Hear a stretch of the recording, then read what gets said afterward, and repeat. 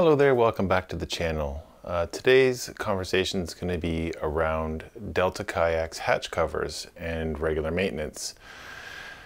Anybody who's paddled a Delta kayak and or is familiar with the Delta press lock hatches that come with the Delta kayaks knows how amazing they are. They probably are some of the best hatch covers in the industry as far as ease of use, um, getting on and off, and the air tightness that they offer. However, uh, just like anything, they do require a little bit of maintenance.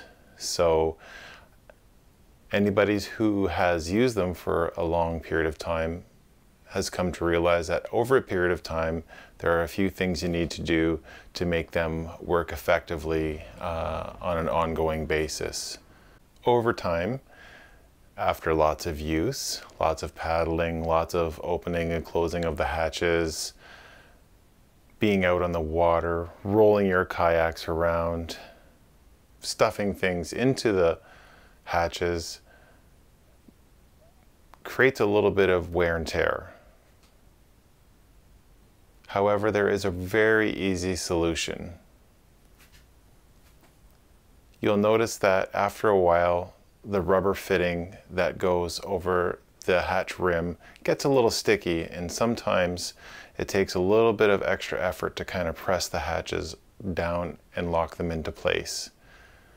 Once that starts to happen, there is an easy solution and that is using regular old-fashioned Armor All just plain old Armor All, which can be purchased just about anywhere.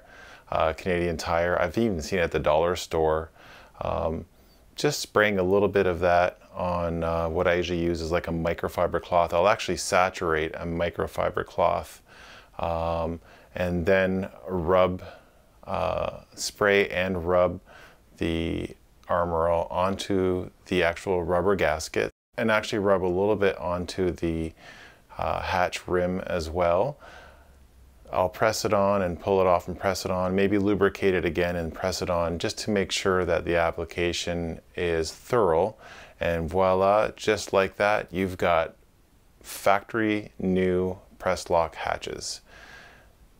So then what I do is I just take my microfiber cloth that I've got super saturated with Armor All and I'll chuck it in like a freezer bag or something and just keep it on board uh, inside one of the hatches uh, just in case I might need a little touch up here and there. But with the regular maintenance of applying Armor All periodically, your hatches will pop on and off like a dream all the time and you won't have to worry about them getting sticky or I've even seen situations where people have actually pulled so hard uh, with sticky hatches they pulled the actual rubber gasket away from the hatch cover so yeah just a little bit of Armor All and you're factory new again thanks for joining in and stay tuned I've got a couple more uh, Delta videos coming your way with some basic repairs.